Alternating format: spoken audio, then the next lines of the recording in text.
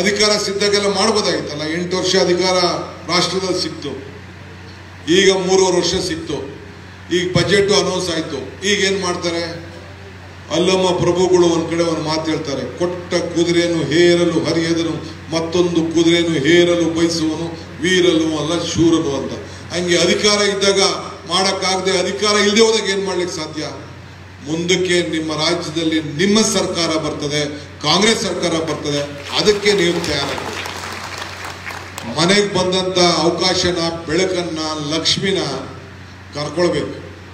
ನೀವು ನಿಮ್ಮ ನಿಮ್ಮ ಸ್ವಾರ್ಥಕ್ಕೆ ಯಾವುದೋ ಒಂದು ವಿಚಾರಕ್ಕೆ ನೀವು ಯಾರನ್ನು ಗಲಾಟೆ ಮಾಡ್ಕೊಳಕ್ ಹೋಗ್ಬೇಡಿ. ಮೊನ್ನೆ ಸೋನಿಯಾ ಗಾಂಧಿ ಅವರು ಹೇಳಿದ್ರು, ಚಿಂತನೆ ಮಂಥನ ಶಿಬಿರದಲ್ಲಿ ಇಲ್ಲೇ ನಮ್ಮ ಹರಿಪ್ರಸಾದ್ ಅವರು ಇದ್ರು, ಅವ್ರ ಪರಮೇಶ್ವರ್ ಅವ್ರ ಕೆಲವು ಕಾರಣದಿಂದ ಅವ್ರು ಬರಕ್ಕಾಗಲಿಲ್ಲ ಕಾಂಗ್ರೆಸ್ ಪಕ್ಷ ನಿಮ್ಗೆಲ್ಲ ಕೊಟ್ಟಿದೆ.